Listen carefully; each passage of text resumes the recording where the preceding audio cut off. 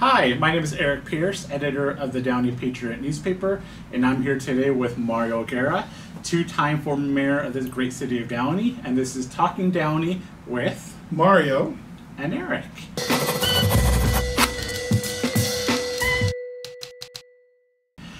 Our topic today, we're talking uh, some local Downey news. Uh, last week, uh, City Council elected a new mayor pro tem, Mario. Yes. Crazy. crazy and uh, somebody that we didn't expect. Uh, Catherine Alvarez, District District Three council member, uh, on a uh, what was it a two a two one vote or 311. three one one? And let me, let me repeat what I said earlier. Crazy.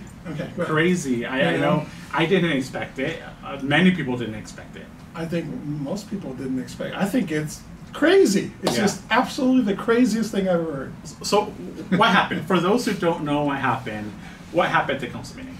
So, uh, Sean Ashton resigned last meeting, and he was mayor pro tem. So he they needed to fill the seat.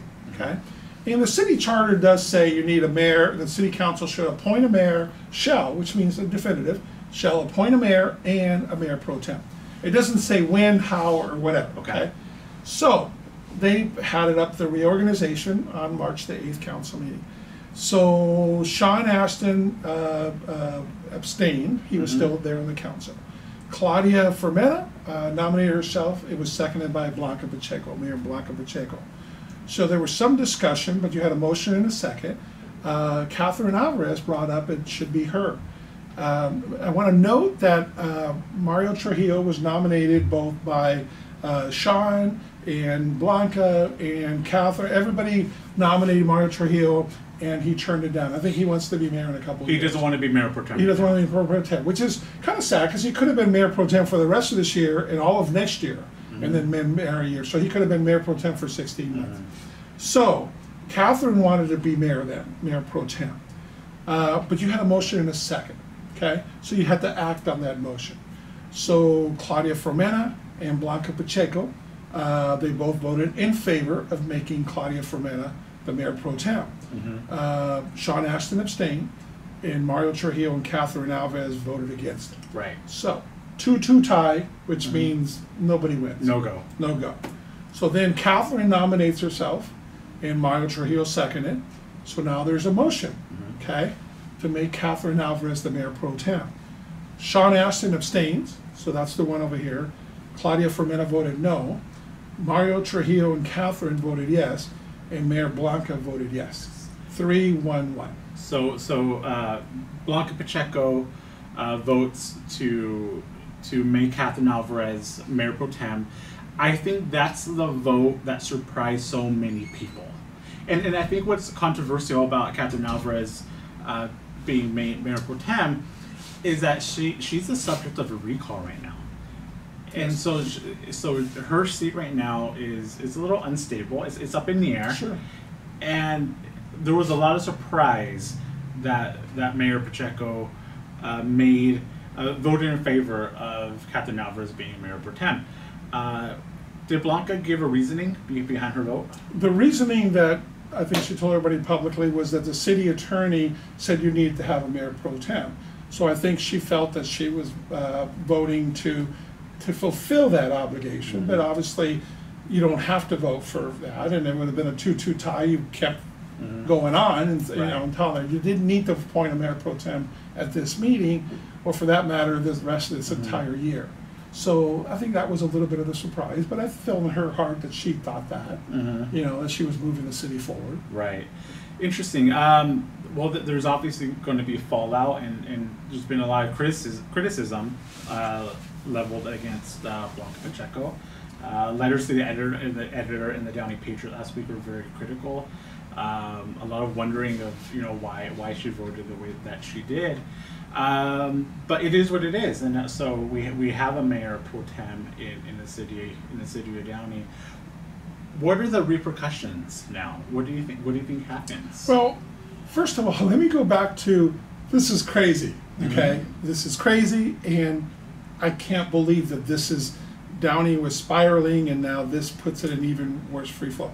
Just for the listeners to remember, Catherine Alvarez uh, protested outside the council members' homes Mm-hmm. right before she got elected with bullhorns at 11 o'clock at night, uh, waking up the families, the neighborhood. They had to pass an ordinance even uh, for that, including to Blanca Pacheco Mm-hmm. and to Claudia Frometa, Rick Rodriguez, Alex Saab, to all their homes. Mm-hmm. It's just crazy. And she still to this day justifies it somehow. So I understand in second, third, and fourth chances, but you have to have some remorse. So that's part of it.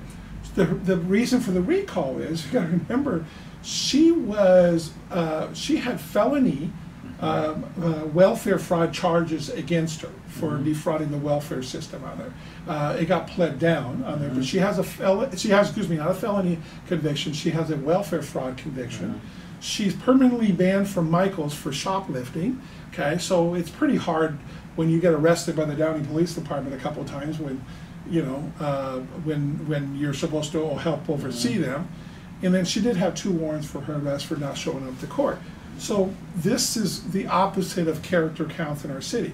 So her background, and I don't care anything before that, her criminal background to me makes her unqualified to not only be on the city council, but especially for Mayor Pro Tem. When Blanca Pacheco as mayor can't fulfill the duties, and I understand Mayor Pro Tem is largely ceremonial, mm-hmm. but she is the voice and the face of our city. Mm-hmm. And the first time in our city we've ever had a criminal in that position. Mm-hmm. Um, and again, like you said, subject to a recall. So Right.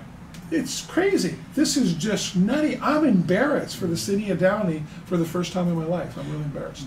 you know that that's been the, the bulk of the criticism that I've heard is you know what kind of example is it to the kids in Downey that our mayor pro tem has a lengthy criminal record, uh, never before in the city of Downey, and it, it's, it kind of blows my mind. And you know, Mayor Pacheco, she's campaigning for assembly, so it could be expected that she she might be out of the city for for certain times, and that's when the mayor pro tem steps in and, and runs the meeting. Uh, so so we're gonna see we're gonna see how that goes. You want to know about the consequences. So Yeah. some of the consequences are so we're looking for a new city manager. Okay, our fine city manager Gilbert Livas, uh, you know, resigned and is leaving us in the middle of the year. Um, so the question I always ask is, what worthy candidate out there is going to be willing to come in when you have a dysfunctional situation there, that you have three seats that are up in the air?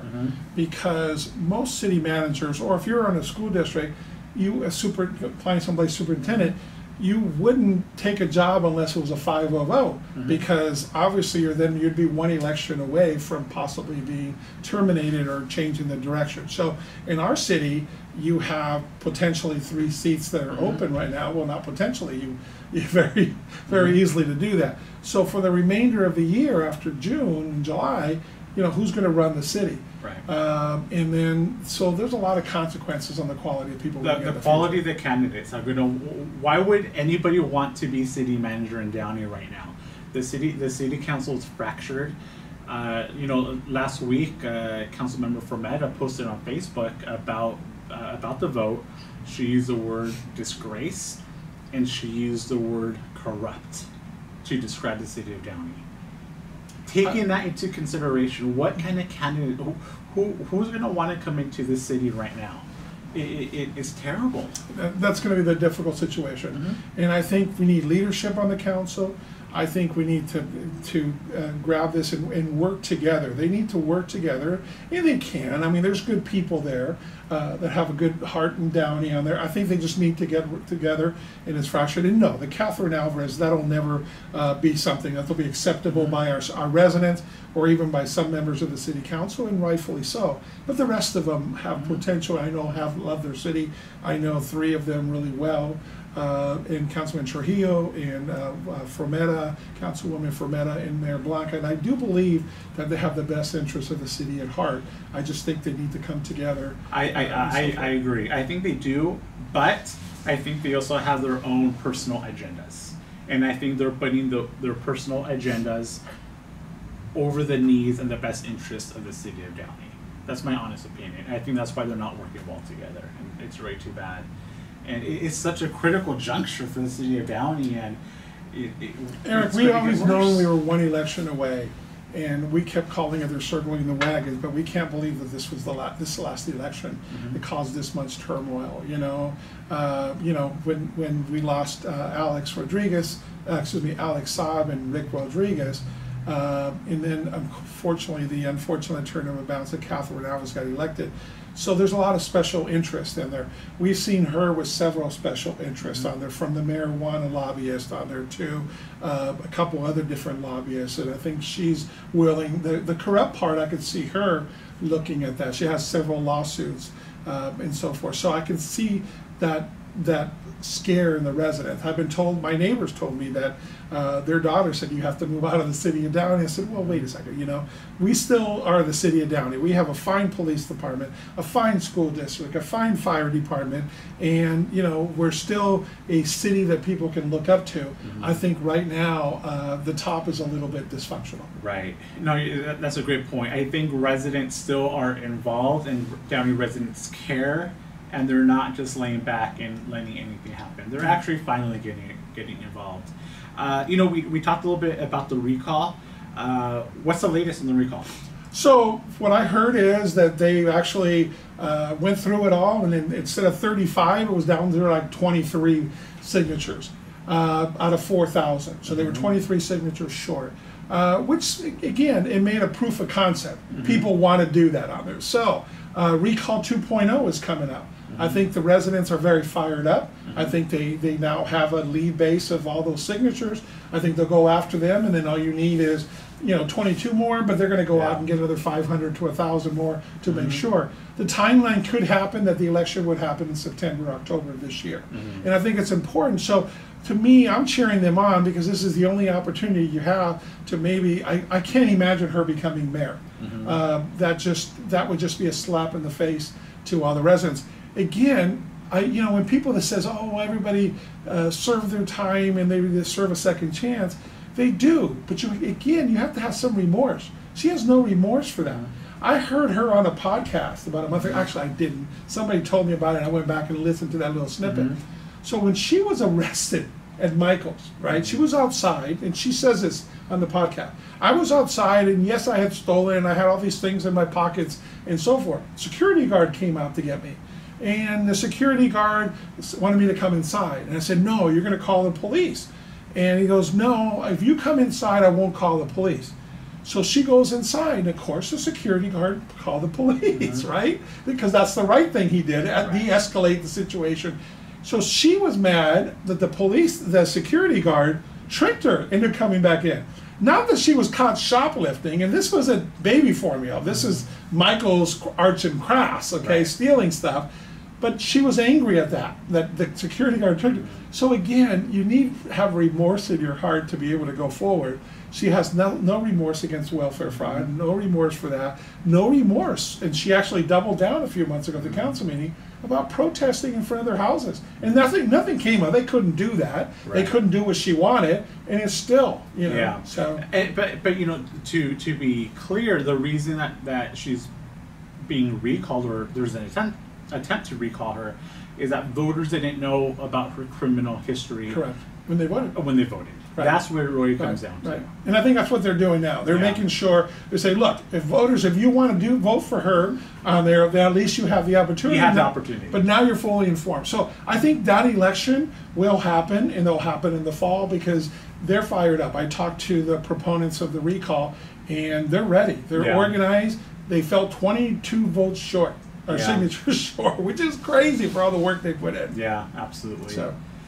Well, thank you guys for watching. This is a very quick episode that we wanted to film. Uh, we want to keep it uh, uh, lively and, and on topic, and uh, we're curious to hear your uh, your thoughts on our new mayor pro tem and the direction of the direction of the city. Leave a comment, send us an email, talkingdowney at gmail.com, or us on Facebook. Uh, thank you for watching. Thank you, Mario. I appreciate it. It's always great to be here with you. Send us your information. We'll pass it on to the city council and let them know your thoughts. So thanks for being with us. Thank you.